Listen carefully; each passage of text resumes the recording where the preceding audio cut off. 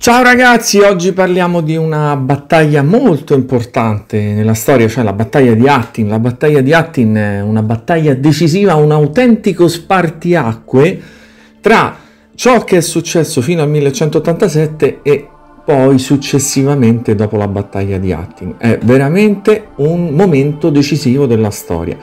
Per comprendere le dinamiche che portarono alla battaglia di Attin fra crociati e musulmani, occorre capire con attenzione gli antefatti e la situazione esistente prima del fatidico 1187, l'anno che cambiò la storia. Infatti nel 1187 il conte di Tripoli era un certo Raimondo, personaggio molto influente e saggio. Tripoli la vedete nella cartina segnata di rosso e qui vedete appunto Raimondo e Raimondo era stato reggente anche del piccolo Baldovino V, che fu re di Gerusalemme per breve tempo a causa della prematura morte. Quindi sotto c'è il regno di Gerusalemme e sopra la contea di Tripoli che apparteneva a Raimondo. E Raimondo era stato anche un ottimo collaboratore del precedente sovrano, re di Gerusalemme Baldovino IV, il re lebroso, che era stato capace di sconfiggere il più temibile degli avversari dei cristiani, Saladino, nella battaglia di Monghisard, che scongiurò momentaneamente il pericolo della perdita del regno di Gerusalemme. Se avete avuto modo di vedere il film Le Crociate, Kingdom of Heaven con Orlando Bloom, il re lebroso è quello che indossa la maschera che è interpretato da Edward Norton. E eh, fu un re certamente carismatico perché ovviamente eh, dette un impulso forte anche alla sopravvivenza del regno di Gerusalemme che in ogni caso però si trovava sempre in uno stato di pericolo. Alla morte del piccolo Baldovino V che aveva mh, preso le redini del regno seppur con una reggenza perché era troppo piccolo dopo Baldovino IV, sua madre Sibilla fece sì che la corona passasse al suo consorte Guido di Lusignano e questo non piacque a Raimondo, reggente del piccolo Baldovino V, anche per il modo apparentemente spregiudicato con il quale Sibilla aveva imposto Guido come nuovo re e Raimondo si rifiutò di porre omaggio al nuovo re. E questo certamente non passò inosservato al Saladino, che eh, saputa la notizia, sapute le tensioni esistenti, eh, cercò di intrattenere dei rapporti, delle relazioni con il conte Raimondo. Quindi Raimondo se ne tornò nel suo castello di Tiberiade e poco tempo dopo egli strinse rapporti proprio con il sultano Saladino, che intuì che fra i cristiani vi erano delle tensioni. E eh, queste tensioni sfociarono poi con eh, praticamente una serie di potenziali lotte interne, di pericoli, di rivalità e così Saladino fece concessioni a Raimondo e in cambio chiese di poter far passare le sue truppe in territorio cristiano per dar battaglia. La battaglia che si verificò il primo maggio del 1187 presso le fonti di Cresson fu una battaglia importante nella quale i cristiani subirono una cocente sconfitta. Fu una sconfitta numericamente di piccole dimensioni, ma lasciò presagire il peggio. Quindi Saladino eh, cercò appunto di allearsi con Raimondo, in primis per creare frammentazioni ulteriori fra i cristiani, e in seconda battuta anche per poter ottenere il libero passaggio all'interno del regno di Gerusalemme, quindi all'interno dei territori che appartenevano a Raimondo, che Raimondo aveva sì la contea di Tripoli, ma aveva anche dei territori presso Tiberiade, territori che aveva avuto tramite la moglie Eschiva, eh, che eh, aveva, aveva appunto questo castello di Tiberiade, quindi aveva come feudo Tiberiade che si trovava all'interno del regno di Gerusalemme. Quindi vi era una situazione di fortissima tensione fra i baroni crociati e Saladino voleva proprio questo. E quindi che succede? Succede che Baliano di Ibelin, che è Orlando Bloom sul film Le Crociate, era stato inviato a Tiberiade. Era vitale, era di vitale importanza che i cristiani tornassero uniti eh, Raimondo e Re Guido avrebbero dovuto far pace per il bene del regno e per la sopravvivenza del regno di Gerusalemme. Quindi Baliano parte con la speranza di far riappacificare Re Guido di Lusignano e Raimondo di Tripoli. Ed effettivamente questa pace avviene anche perché subentrano degli scrupoli eh, riguardo proprio a Raimondo. Quindi davanti al dramma dei caduti cristiani, il conte Raimondo decide per il bene del regno di far pace con Guido e Sibilla. E qualche tempo dopo Re Guido, consapevole del potente esercito del Saladino, ordinò il cosiddetto eribanno, ossia la mobilitazione di tutte le forze armate all'interno del regno di Gerusalemme per fronteggiare la grande minaccia del potente esercito del Saladino che aspettava l'occasione giusta per ottenere una vittoria decisiva e ricacciare in mare i cristiani. I cristiani usarono anche il tesoro del re d'Inghilterra che aveva inviato molto denaro per espiare il peccato dell'assassinio di Tommaso Becket e alla fine i cristiani riuscirono a formare un esercito di circa 20.000 fanti e 1.200 cavalieri, il massimo che potevano fare di fronte ai 30.000 uomini dei quali poteva disporre il Saladino e in più i cristiani potevano contare sulla vera croce. Che cos'era la vera croce? Era una reliquia della croce di Cristo, quindi un frammento di Cristo contenuto all'interno di questa grande croce che avrebbe accompagnato i crociati e quella vera croce che aveva sempre vittoriosamente accompagnato i crociati nelle precedenti battaglie e questa vera croce aveva sempre accompagnato vittoriosamente i crociati, quindi ogni volta che c'era la vera croce i crociati riuscivano a vincere i nemici.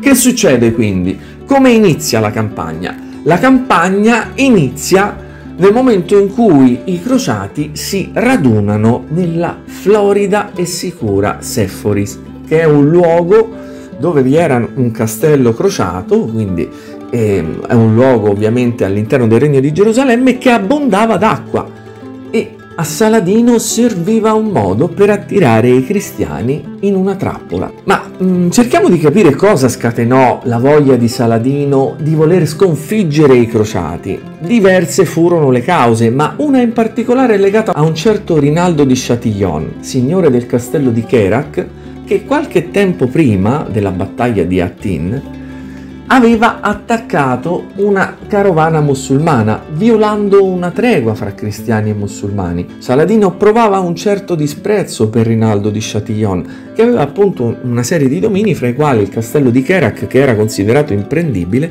che si trovava nella Transgiordania, quindi a sud di Gerusalemme. L'antefatto della battaglia eh, vera e propria si verifica il 2 luglio del 1187. Saladino volle assediare Tiberiade, possedimento di Raimondo e della moglie Eschiva, che aveva deciso di riappoggiare nuovamente i crociati. Nello stesso momento i cristiani si trovavano accampati in una forte posizione difensiva presso Seforia, nella quale i pascoli abbondavano, il verde e le fonti fornivano di acqua all'esercito cristiano. Saladino sapeva bene che attaccare i cristiani da quella posizione era rischioso e aspettava l'occasione giusta e sperava che la sua mossa avrebbe indotto i cristiani a marciare in direzione di Tiberiade. Il conte Raimondo, che era con l'esercito, cercò di convincere in un consiglio di guerra Re Guido a restare a Seforia sulla difensiva. Il consiglio di guerra era diviso. I templari, forse anche feriti dalla sconfitta di Cresson, pressavano il re marciare su Tiberiade, ma Raimondo davanti al re disse Tiberiade mi appartiene e mia moglie si trova lì assediata. Nessuno più di me vorrebbe questo, ma questa è una decisione lontana da tutti noi. Se questo esercito si sposterà da Seforia per imbattersi nel deserto, questo esercito morirà per il caldo rovente della marcia. L'estate è ardente, restiamo a Seforia i musulmani, dopo aver conquistato Tiberiade, verranno da noi, ma saranno loro a dover attraversare il deserto e il nostro esercito, ben rifocillato, uscirà carico e potente e protetto dalla vera croce e sbaraglieremo le truppe del Saladino, mio signore. Fra i comandanti della spedizione vi è anche Rinaldo di Chatillon, il signore della Transgiordania, tanto odiato da Saladino che aveva provocato poi la battaglia di Attin a causa proprio dell'attacco della carovana musulmana qualche tempo prima. Raimondo era stato convincente, il re lo ascoltò restare a Seforis, ma nella notte successe l'imprevedibile. Il re riceve la visita del Gran Maestro dei Templari, il destino del mondo stava per cambiare e così fu che il Gran Maestro si rivolse a Guido dicendo mio signore, non dovete ascoltare Raimondo, egli è stato un traditore e desidera vedervi sconfitto. Se non lasciate questo posto, Saladino verrà e vi attaccherà, e se voi vi ritirerete, grande sarà la vergogna e la riprovazione. E qui veramente cambia il destino del regno di Gerusalemme e il corso della storia. Detto e fatto, Guido ascolta il Gran Maestro, levate le tende, radunate le truppe, si marcia in direzione di Tiberiade per soccorrere il castello di Raimondo, dove vi era Eschiva, la signora di Tiberiade e moglie di Raimondo. Quando Saladino seppe questo fu colmo di gioia, era quello che voleva e il sultano sapeva che la disponibilità di acqua da una parte e dall'altra avrebbe fatto la differenza. Raimondo sapeva dell'errore commesso da Re Guido, si trovava alla testa dell'esercito, la vera croce al centro del convoglio e i templari chiudevano nelle retrovie l'esercito. Si marciò in direzione di Tiberiade, quello che non avrebbe voluto Raimondo, che tra le altre cose era il primo ad avere tutto l'interesse affinché Tiberiade potesse essere salvata, ma Raimondo sapeva e conosceva benissimo le insidie di questo percorso. Saladino lasciò un piccolo drappello di soldati a Tiberiade e mandò tre corpi d'armata contro i cristiani in marcia.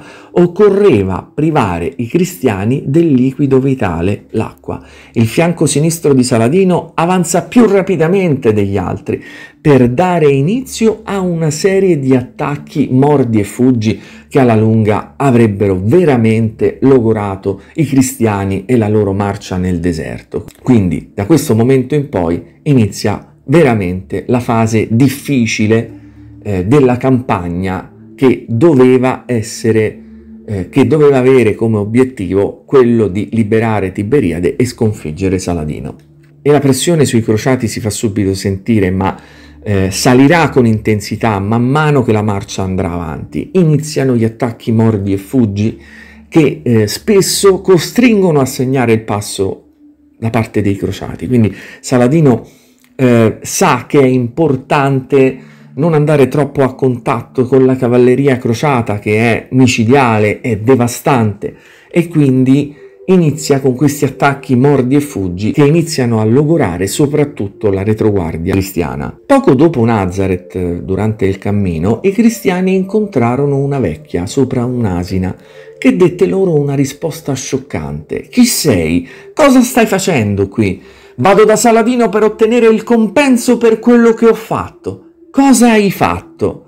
Io sono una strega, disse, e ho fatto dei giri intorno al vostro campo per gettarvi il malocchio. I cristiani chiesero di poter cancellare il maleficio, ma la vecchia disse che sarebbe stato possibile solo se essi fossero tornati nel posto dove era stato fatto il maleficio e per una serie di motivi era impossibile per i crociati tornare indietro. Pensate al seguito di vescovi che si trovavano con l'esercito, eh, che non credevano alle superstizioni. Così essa venne arsa viva. I cristiani tremarono, cattivi presagi, sete, caldo rovente, tutto lasciava presagire a una disfatta imminente e annunciata. I cristiani continuano la marcia, arrivano alle fonti di Turan, come vedete ci sono delle goccioline azzurre all'interno della mappa che segnano delle fonti d'acqua. I musulmani ovviamente hanno come obiettivo principale quello di controllare queste fonti d'acqua, infatti vedete il fianco sinistro di Saladino copre proprio le fonti d'acqua in maniera tale proprio da impedire all'esercito crociato di giungere o raggiungere delle fonti d'acqua.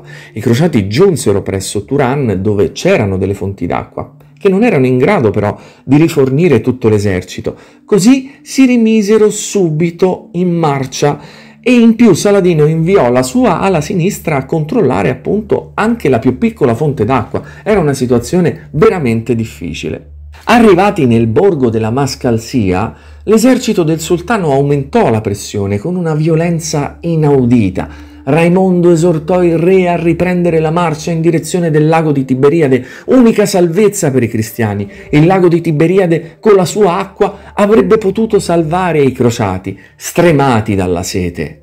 E al borgo della Mascalzia la pressione veramente diventa insostenibile, questi poveri crociati vengono attaccati su tutti i fronti, soprattutto dal fianco sinistro musulmano, quindi Saladino ha studiato tutto nei minimi dettagli e non solo, inizia anche una sorta di stillicidio vero e proprio da parte dei musulmani che iniziano ad incendiare delle sterpaglie e a mandare questi fumi tramite i venti eh, verso il campo crociato, perché i crociati nel frattempo hanno montato un campo eh, presso la Mascalzia, quindi cercano in qualche modo di proteggersi da questi attacchi continui. I cristiani si asserragliarono nel loro campo, privi di acqua, e per tutta la notte i musulmani tormentarono fino all'alba del 4 luglio l'esercito accampato non troppo lontano dalle due alture dette i corni di Attin con attacchi continui anche verso i cavalli per privare i cavalieri dei cavalli. E il supplizio proseguì mandando in direzione del campo fumo derivante da rovi secchi che aumentava la tortura degli assetati crociati che stavano morendo di sete, mentre invece i suoi uomini, i uomini di Saladino, erano continuamente riforniti d'acqua grazie alle file lunghe di cammelli che collegavano i guerrieri all'acqua, quindi alle fonti di Tiberiade. Il sultano invece era accampato presso Lubia ed era pronto a sferrare l'attacco decisivo. Fu così che il re disperato, re Guido di Lusignano, tiene un consiglio di guerra al quale partecipa anche un certo Giovanni, che era stato un mercenario combattente anche nelle file dei musulmani.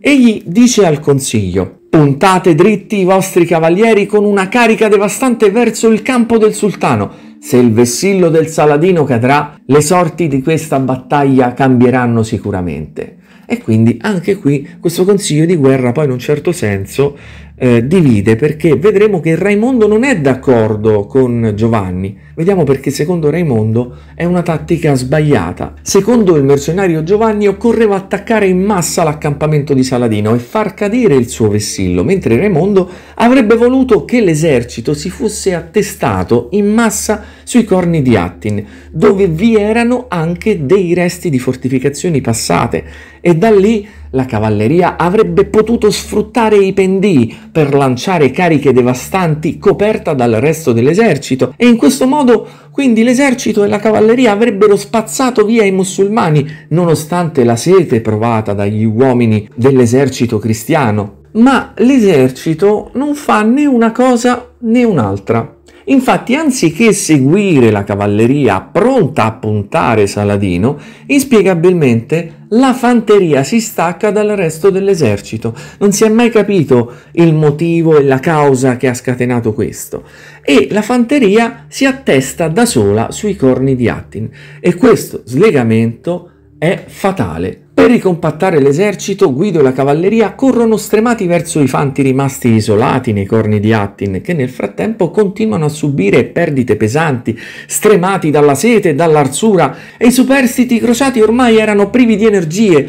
Guido giunge sui corni di Attin e ordina di far montare il campo. Saladino riesce così ad accerchiare il nemico su tutti i fronti, attacca incessantemente da ogni lato, crea una perfetta rete di rifornimento idrica per le sue truppe, che bruciano rovi e mandano fumi verso i corni di Attin e questo non fa che aumentare la sofferenza dei crociati che cercano disperatamente di raggiungere il lago di Tiberiade a poche miglia per poter bere, ma ormai è impossibile. Il re fa montare la sua tenda nel disperato tentativo di risollevare il morale delle truppe cristiane, ma ormai le truppe cristiane sono veramente inermi. Raimondo e un piccolo gruppo di cavalieri al suo seguito dopo una carica alla quale i musulmani mh, mm, non rispondono, eh, fuggirà dal campo di battaglia. Eh, Techedino si scansa letteralmente, quindi fa fuggire Raimondo perché conosce l'impeto della carica cristiana e non ne vale la pena in questo momento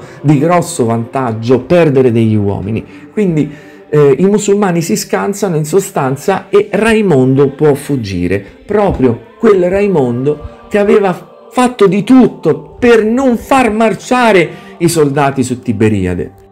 Allora, la battaglia era ormai compromessa, tuttavia eh, si è veramente rischiato di vivere un colpo di scena in questa battaglia, perché ad un certo punto, stremati, disperati da questa condizione veramente incredibile, i crociati, la cavalleria, mette in atto una carica. I crociati, la cavalleria cristiana, mette in atto una serie di cariche verso il vessillo del Saladino. In qualche modo quello che era stato detto da eh, Giovanni era stato messo in atto e una di queste tre cariche arrivò talmente vicino al sultano che quasi eh, i crociati non arrivano, pensate un po', a cambiare le sorti della battaglia e della storia. Quindi pensate se una di queste cariche della cavalleria fosse arrivata a prendere il vessillo del sultano, cosa sarebbe successo? Sarebbe veramente forse cambiata la storia e gli esiti della battaglia, come diceva proprio quel mercenario. Quindi la disputa era quasi risolta a favore del Saladino, ma appunto i crociati trovarono le forze per sferrare un ultimo disperato attacco con questi pochi cavalieri che erano rimasti e appunto una carica arrivò vicinissima al sultano, che riuscì a salvarsi per pochi metri. Egli conosceva e temeva l'impeto dei cavalieri cristiani, ma poi l'energia, gli ultimi eh, veramente rimasugli di energia indotta probabilmente più dalla disperazione che da quant'altro, eh, si esaurirono e Saladino riprese completamente il controllo della situazione. I musulmani poi riuscirono anche a catturare la vera croce, la reliquia che era così importante per i cristiani, che aveva sempre accompagnato i cristiani durante le loro battaglie e grazie alla quale loro credevano di ehm, vincere ogni battaglia proprio perché protetti dalla vera croce, quindi una reliquia che aveva un valore simbolico enorme, ma cade nelle mani dei soldati del Saladino e poco dopo cade anche la tenda del re che aveva fatto montare nella speranza di risollevare un po' il morale dei suoi soldati. Verso le 3 del pomeriggio del 4 luglio del 1187 l'esercito cristiano non esiste più Baliano di Ibelin fugge dal campo di battaglia, l'Orlando Bloom del film Le Crociate. Saladino vince una battaglia decisiva che gli permette pochi mesi dopo di riconquistare Gerusalemme, 88 anni dopo la conquista dei Crociati. L'esercito crociato era stato completamente annientato da Saladino. Poi tra le altre cose ci sono delle differenze fra la storia vera e la battaglia di Attin, perché nel film Baliano in realtà non partecipa alla battaglia di Attin, nella realtà invece Baliano è fra i condottieri che parteciparono alla battaglia di Attin. Dopo la battaglia, Saladino incontra Re Guido e fra i prigionieri vi era anche l'odiato Rinaldo di Chatillon. Saladino vede che Re Guido è provato e così dà al re una coppa d'acqua fresca che poi prende Rinaldo. Saladino disapprova dicendo a Rinaldo che lui non ha dato la coppa a lui, non ha dato la coppa a Rinaldo. E Rinaldo forse risponde al sultano in maniera sgarbata o comunque in un modo che non piace a Saladino e Saladino subito dopo, come aveva promesso a se stesso, uccide Rinaldo con la sua stessa spada. Affonda un fendente, insomma, in ogni caso poi i soldati del Saladino finiranno Rinaldo. Re Guido si spaventa, ma Saladino lo rassicura dicendo che un re non uccide un altro re, quindi puoi stare tranquillo di questo. Guido di Lusignano ebbe salva la vita, ma il regno di Gerusalemme, in virtù di questa decisiva sconfitta, è perso, è perduto. Poco dopo, la città più importante del regno di Gerusalemme, Gerusalemme cadrà nell'ottobre del 1187 e tempo dopo e successivamente, qualche tempo dopo, Saladino dovrà affrontare un nuovo avversario, ma molto più temibile di Guido di Lusignano, Riccardo Cuor di Leone, a seguito della Terza Crociata, che doveva avere come obiettivo per i cristiani la riconquista di Gerusalemme. Ma la battaglia di Attin è un momento decisivo della storia, perché da quel momento in poi i crociati recupereranno Gerusalemme, ma non con la forza, bensì con la forza dei trattati, grazie a Federico II di Svevia nel 1229. Questa è stata la battaglia di Attin e spero, che, eh, spero di aver creato un quadro chiaro di questo importante evento storico.